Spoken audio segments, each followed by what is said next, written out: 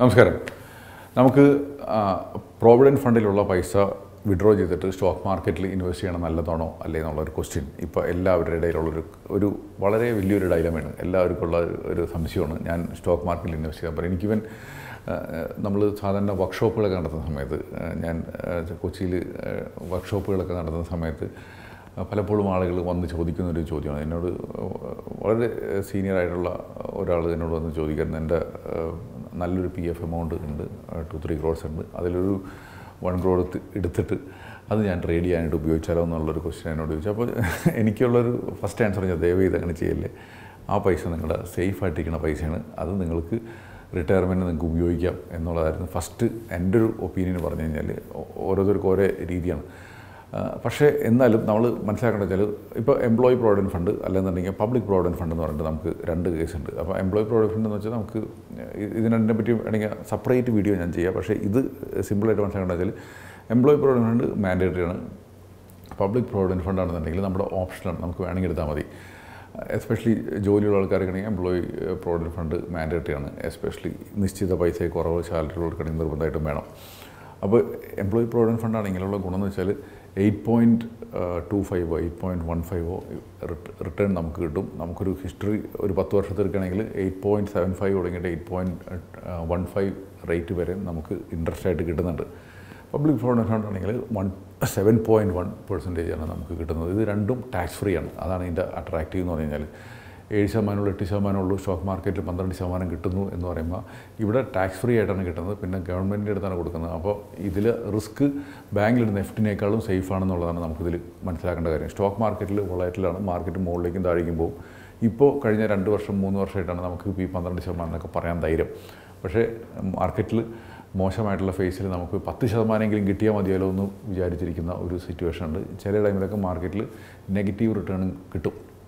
അപ്പോൾ നമുക്ക് വേണ്ടത് സ്റ്റോക്ക് മാർക്കറ്റിലെ ബെനിഫിറ്റ് നമുക്ക് എടുക്കണം എന്ന് കഴിഞ്ഞാൽ ഇതേമാതിരി സേഫ് ആയിട്ടുള്ള എഫ് ഡി ഇൻവെസ്റ്റ്മെന്റ് ഗവൺമെന്റ് തരുന്ന സ്കീമുകളിലും നമുക്ക് പൈസ വേണം എന്നുള്ളതാണ്. അപ്പോൾ ഒരിക്കലും നമ്മൾ എഫ് ഡി സോറി പി എഫിലെ പൈസ വിഡ്രോ ചെയ്തിട്ട് സ്റ്റോക്ക് മാർക്കറ്റിൽ ഇൻവെസ്റ്റ് ചെയ്യണമെന്ന് പറഞ്ഞാൽ ഫസ്റ്റ് ആൻസർ നോവാണ് നമുക്ക് ഒരു വളരെ നല്ല പൈസ അയക്കേണ്ടതെങ്കിൽ ഒരു ഭാഗം വേണമെങ്കിൽ ഡൈവേഴ്സിഫൈ ചെയ്യണമെന്നുണ്ടെങ്കിൽ അതും എന്റെ അഭിപ്രായത്തിൽ ഏഹ് വേണ്ടാന്നുള്ളതാണ് പി എഫിലെ പൈസ പി എഫിൽ തന്നെ എടുത്തിട്ട് പുറത്ത് ഇൻവെസ്റ്റ് ചെയ്യണതായിരിക്കും.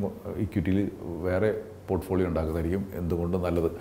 പിന്നെ നമുക്ക് എപ്പോഴും നമുക്ക് ഒരു ക്വസ്റ്റ്യനുള്ള കാര്യം വെച്ചാൽ പി എഫിലൊക്കെ ഇൻവെസ്റ്റ് കഴിഞ്ഞാൽ പൈസ ലോക്ക്ഡ് അല്ലേ? പൈസ ലോക്കായി കഴിഞ്ഞ് കഴിഞ്ഞാൽ നമുക്ക് ബുദ്ധിമുട്ടല്ലേ? എനിക്ക് ആ എന്റെ റിട്ടയർമെന്റ് വരെ പൈസ ലോക്കായിട്ടിരിക്കണം എനിക്ക് എന്തെങ്കിലും കാശ് ആവശ്യം വരുമ്പോൾ എടുക്കാൻ പറ്റില്ല എന്നുള്ളത്. അപ്പോൾ റിട്ടയർമെന്റ് പോയിന്റ് ഓഫ് വ്യൂ നോക്കുകയാണെങ്കിൽ ഇത് നമുക്കുള്ള പൈസയാണ്. നമ്മൾ ഇതിനെ വേറെ ഗോളുമായിട്ട് അറ്റാച്ച് ചെയ്യാതെ റിട്ടയർമെന്റിലേക്ക് മാത്രം നോക്കി വെക്കുകയാണെങ്കിൽ പി എഫ് എപ്പോഴും നല്ലൊരു ഗുണമാണ്. അതേമാതിരി ടാക്സ് എഫിഷ്യന്റ് ആണ്. നമുക്ക് പബ്ലിക് പ്രോവിഡന്റ് ഫണ്ടിലൊക്കെയാണ് ഇൻവെസ്റ്റ് ചെയ്യണമെങ്കിൽ ഇവൻ പി എഫിൽ ഇൻവെസ്റ്റ് ചെയ്യണമെങ്കിലും നമുക്ക് ഉള്ള ഗുണം വെച്ചാൽ എ ടി സി ബെനിഫിറ്റും എടുക്കാൻ പറ്റും. നമുക്ക് പൈസ തിരിച്ചു കിട്ടുമ്പോഴും നമുക്ക് പൈസക്ക് ടാക്സ് കൊടുക്കണ്ട എന്നുള്ളതൊരു ഒരു വളരെ വലിയൊരു ബെനിഫിറ്റ് തന്നെയാണ്. പിന്നെ സ്റ്റോക്ക് മാർക്കറ്റിൽ നമുക്ക് ഇൻവെസ്റ്റ് ചെയ്യുമ്പോൾ നമുക്കൊരു ടെംപ്റ്റിംഗ് ആണ്. നമുക്ക് കൂടുതൽ റിട്ടേൺ കിട്ടുന്നുണ്ടല്ലോ. ഇതിൽ സ്റ്റോക്ക് മാർക്കറ്റായിട്ട് ലിങ്ക്ഡ് അല്ലല്ലോ എന്നുള്ളൊരു കാര്യം. അതിന് നമ്മൾ നോക്കേണ്ട കാര്യം വെച്ചാൽ നമ്മുടെ ഇൻവെസ്റ്റ്മെന്റ് എപ്പോഴും ഡൈവേഴ്സിഫൈ ചെയ്ത് വയ്ക്കുക നമുക്ക് ഒരു ഡൈവേഴ്സിഫിക്കേഷൻ നോക്കേണ്ട കാര്യം വെച്ചാൽ ബോണ്ടുകൾ എഫ് ഡികൾ പി എഫുകൾ ഇതെല്ലാനും ഒരു set of investment high return കിട്ടുന്ന വെൽത്ത് ക്രിയേഷൻ കിട്ടുന്ന mutual fund equity equity direct P M എസ്സുകൾ ഇതൊക്കെ വേറൊരു സെറ്റ് ഓഫ് ഇൻവെസ്റ്റ്മെന്റ് ഇനി ഗോൾഡ് സിൽവർ അത്തരം കാര്യങ്ങൾ വേറൊരു സെറ്റ് ഓഫ് ഇൻവെസ്റ്റ്മെന്റ് പ്രോപ്പർട്ടി വേറൊരു സെറ്റ് ഓഫ് ഇൻവെസ്റ്റ്മെന്റ് അപ്പോൾ നമുക്ക് എപ്പോഴും ഈ ഒരു ഒരു റേഷ്യോ നമുക്ക് ഉണ്ടാവണം. ഈ റേഷ്യോ നമുക്ക് മാനേജ് ചെയ്തിട്ട് നമുക്ക് ഇൻവെസ്റ്റ് ചെയ്യാൻ പറ്റുകയാണെന്നുണ്ടെങ്കിൽ നമ്മുടെ ഇൻവെസ്റ്റ്മെന്റ് എക്സ്പീരിയൻസ് എപ്പോഴും നല്ലതായിരിക്കും.